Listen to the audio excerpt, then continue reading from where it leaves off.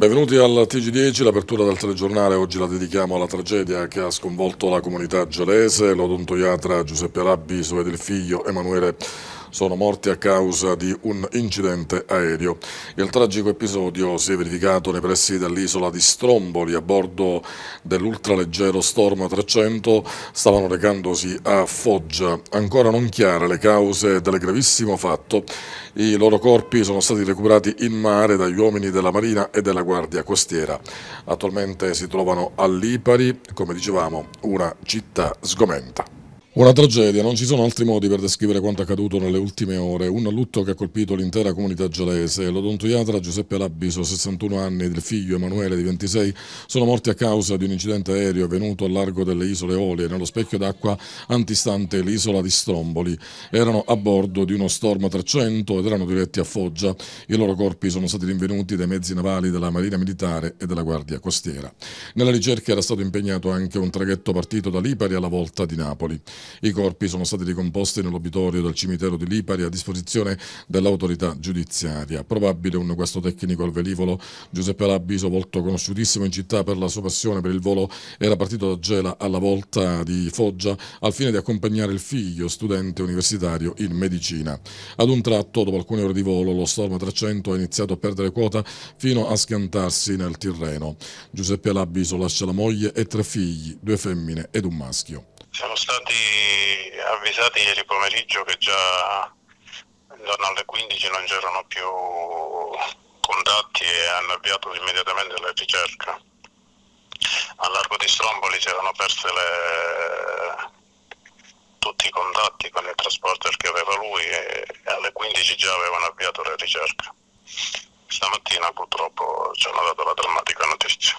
Giuseppe Labbiso era innamorato della sua passione, per lui esisteva solo il volo ed in volo è morto assieme al figlio. Avrebbe potuto scegliere di accompagnare proprio il figlio in auto, ma aveva scelto il suo Storm 300.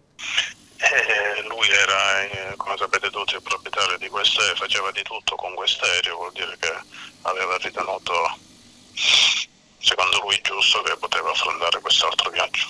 Cosa ricorderà di suo zio e di suo cugino? Eh, quello che ricordano tutti, un personaggio bizzarro. E tra qualche giorno Giuseppe Labbiso avrebbe dovuto tenere un convegno sull'ultimo suo viaggio in 13 paesi d'Europa ed anche in Africa. Sabato scorso, attraverso un messaggio su WhatsApp, orgogliosamente aveva invitato gli amici ed i giornalisti ad un convegno da svolgersi il prossimo 5 dicembre al cinema Hollywood. Giuseppe Labbiso aveva scelto un nome che era tutto un programma, un volo dove non si vola, l'Egitto. Aveva preparato video e foto della sua ultima impresa, quella conclusasi lo scorso 31 ottobre. A bordo del suo Storm 300 per oltre un mese e mezzo aveva viaggiato in lungo ed in largo l'Europa e parte dell'Africa nel tentativo di raggiungere un nuovo record, 13.000 km da percorrere in 80 ore di volo in 13 paesi.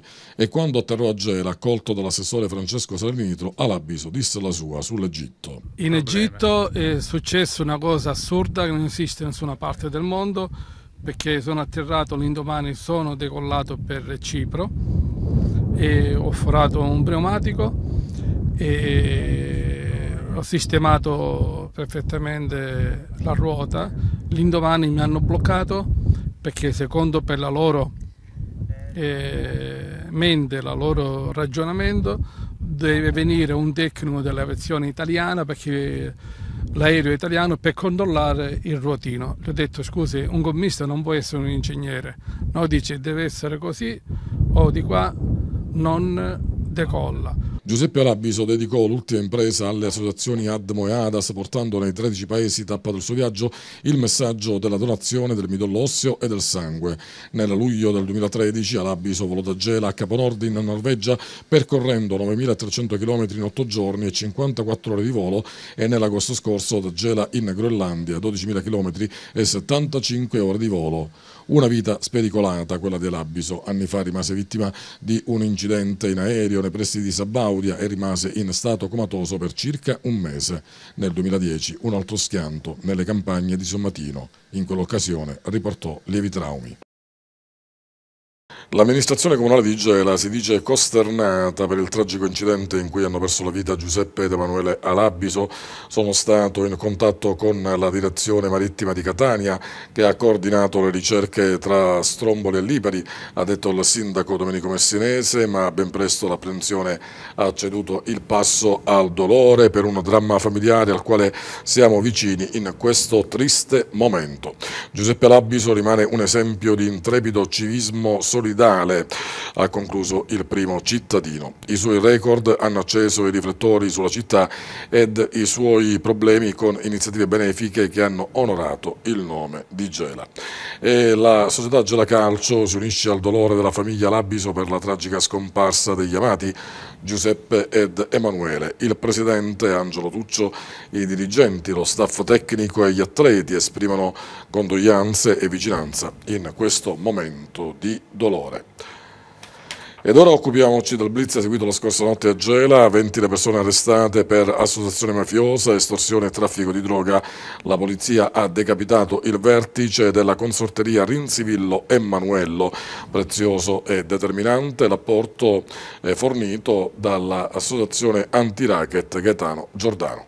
Blitz nella notte a Gela con l'esecuzione di 20 ordinanze di custodia cautelare, 16 in carcere e 4 domiciliari emessi dal GIP di Caltanissetta Marcello Testa Quadra su richiesta della direzione distrettuale antimafia ed eseguite dagli agenti del commissariato, da quelli della squadra mobile di Caltanissetta a Livorno con l'ausilio di pattuglie del reparto prevenzione crimine e di unità cinofile.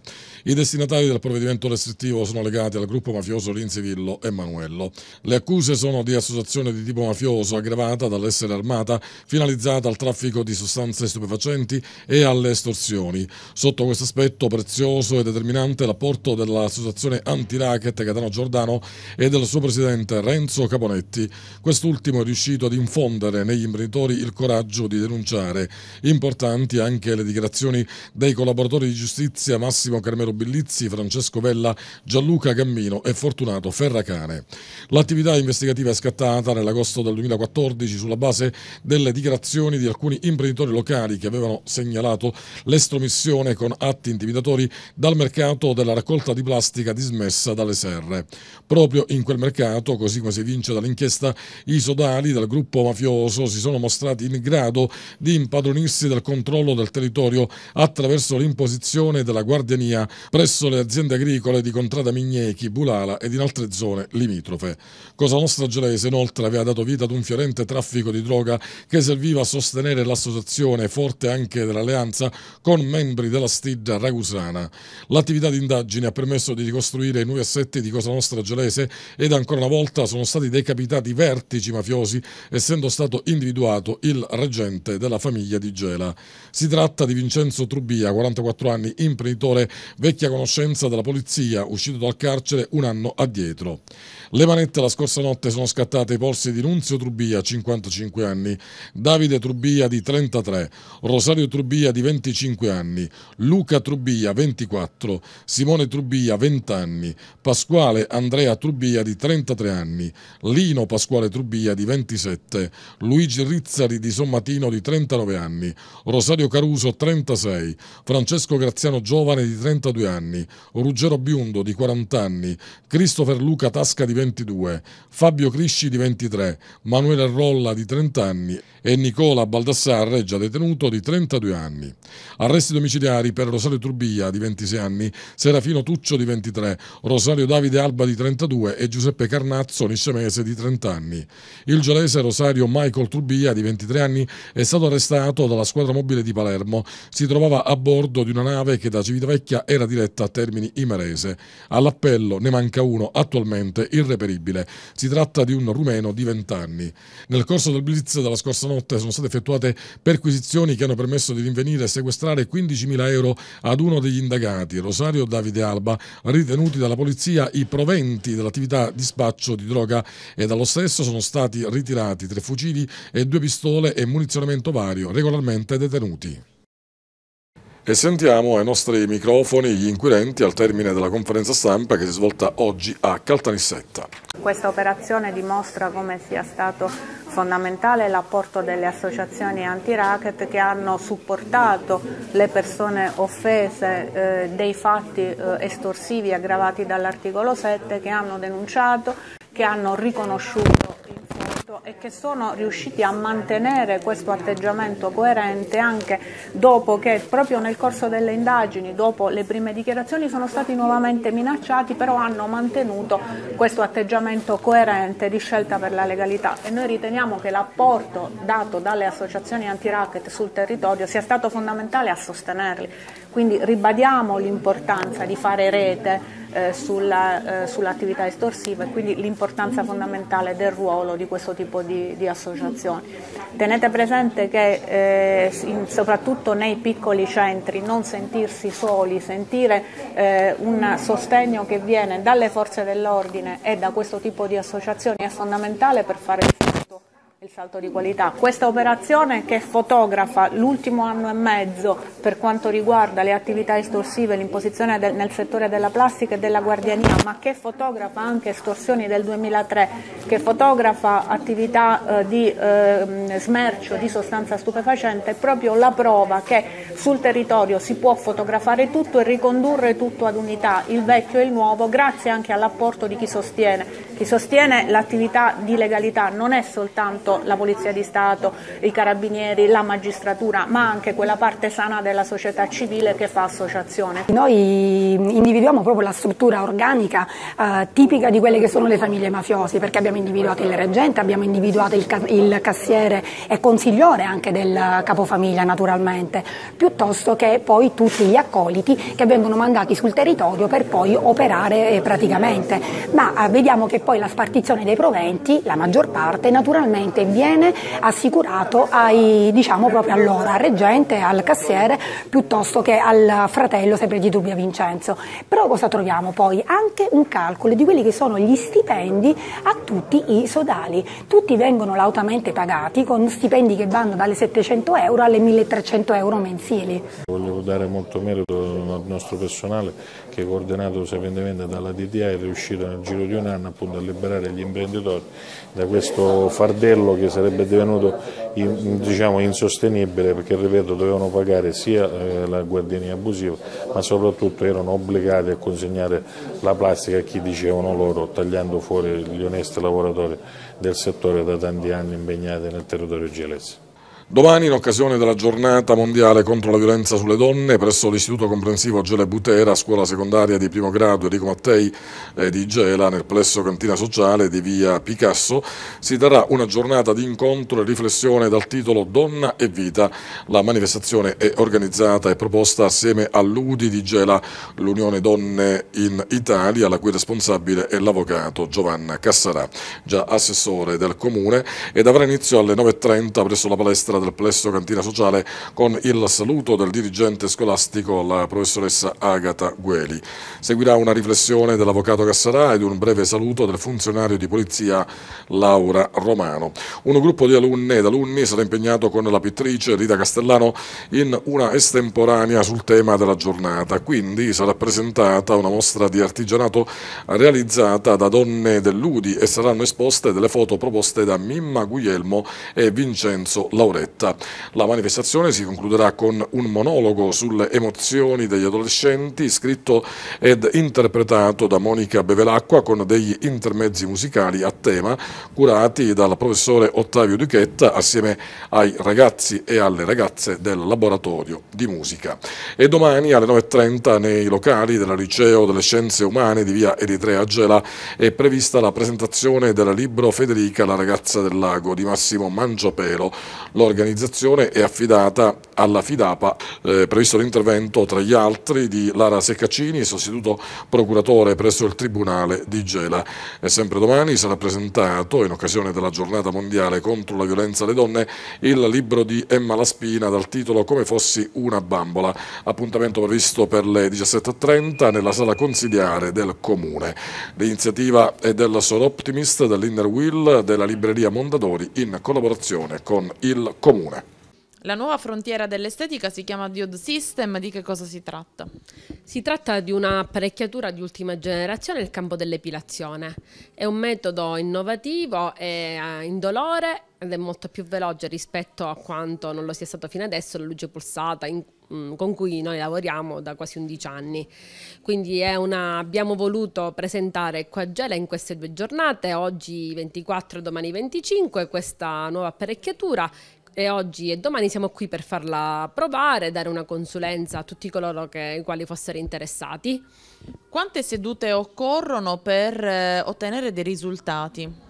Chiaramente dipende dal, dal, tipo di pelo, si fa una consulenza infatti per vedere da persona a persona e da zona a zona quante sono le sedute, però mediamente le sedute necessarie sono inferiori rispetto a quanto non sia stato necessario con la luce pulsata.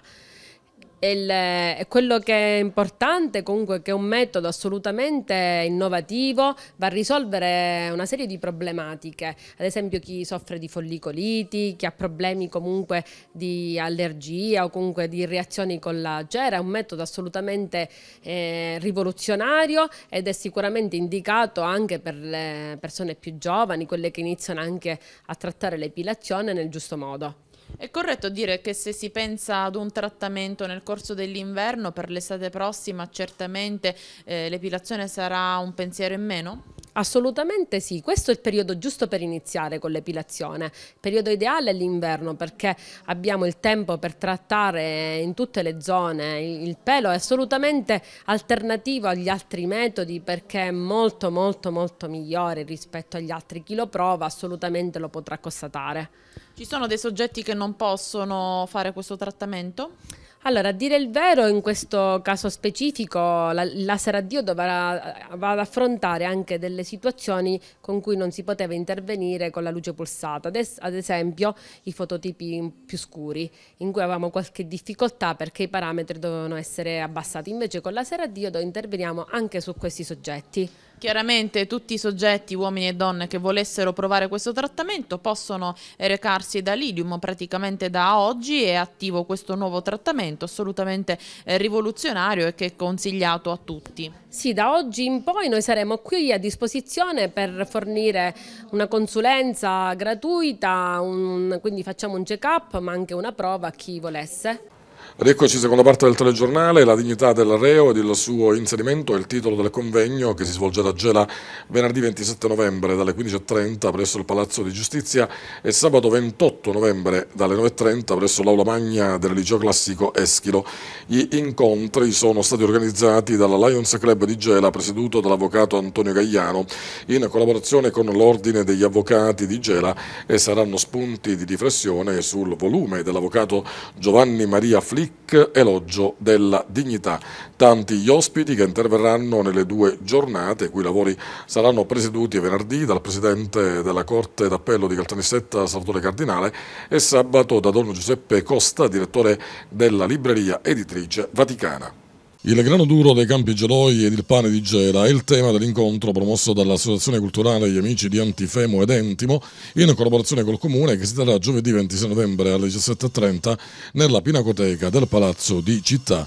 Prevista la partecipazione tra gli altri di Pippo Leonardi, primario del reparto di gastroenterologia dell'ospedale Vittorio Emanuele e di Paolo Guarnaccia del Dipartimento Agricoltura, Alimentazione ed Ambiente dell'Università di Catania. Grazie a un'associazione di Gela, gli amici di Antifemo ed Entimo, eh, si sta riprendendo una vecchia tradizione eh, per quanto riguarda la produzione di un grano antico tipico delle nostre zone, un grano dalle proprietà organolettiche genetica eccezionale, un grano che può dare origine a delle farine che possono dare la risposta anche a molte persone che sono intolleranti al glutine. Questo è un processo importante perché bisogna ecco, dare i giusti riconoscimenti eh, nelle norme di legge ai prodotti territoriali, ai prodotti biologici, in, questa, in queste colture non sono previste l'uso di anticrittogrammici, eh, questo nell'ottica di uno sviluppo eh, compatibile e sostenibile diciamo, con il territorio.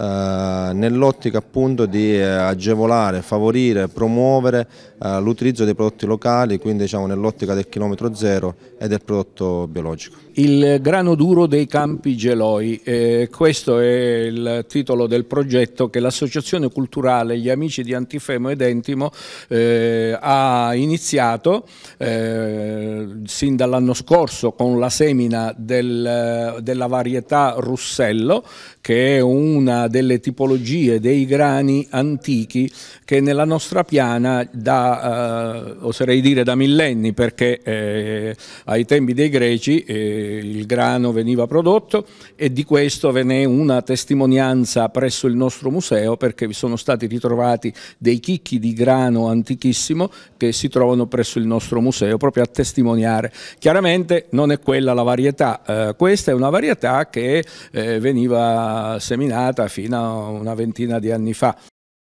Ridefiniamo la protezione in banca, piano di protezione per professionisti e piccole e medie imprese, quali rischi nella vita quotidiana. È il tema di un incontro che si terrà oggi alle 17.30 nella filiale di Gela Agenzia 2 del Monte dei Paschi di Siena in via Venezia, angolo via Butera.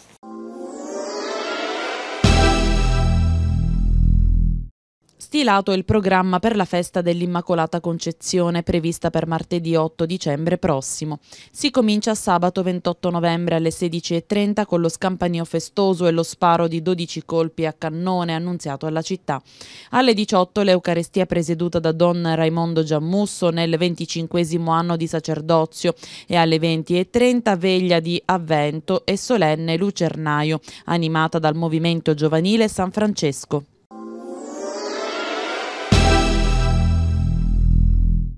Prenderà il via il 15 dicembre prossimo la stagione teatrale di Cabaret 2015-2016 al Teatro Eschilo di Gela. Protagonisti degli eventi saranno Gianni Nanfa, Sergio Vespertino, Ernesto Maria Ponte, Lasciate libero lo Scarrozzo e Giuseppe Castiglia. L'abbonamento per assistere a tutti gli spettacoli costerà 50 euro, mentre il singolo biglietto costerà 15 euro. Il botteghino sarà aperto il venerdì e il sabato dalle 18.30 alle 20.30.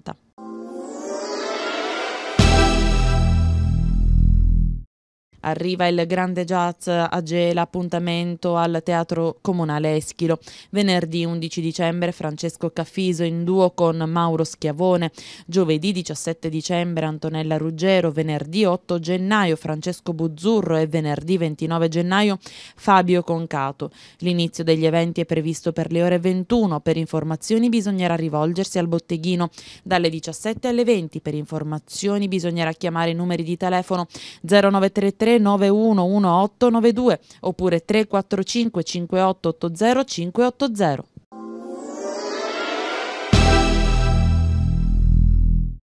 La pagina del cinema è Ricomincio da tre di Massimo Troisi, il film in programmazione al Cine Teatro Antidoto di Macchitella Gela. Sono due gli orari, 18.30 e 21.30 e continua al Teatro Comunale Eschilo la stagione teatrale sabato 28 novembre alle 17.15 e alle 21.15 Federico Buffa porterà in scena le Olimpiadi del 1936. Il botteghino, lo ricordiamo, è aperto tutti i giorni dalle 17 alle 20. Con la notizia dedicata al cinema e al teatro noi chiudiamo l'informazione di oggi, grazie per averci seguito, vi ricordiamo ancora una volta che notizie e servizi sono consultabili attraverso il nostro portale tg10.it, grazie e arrivederci.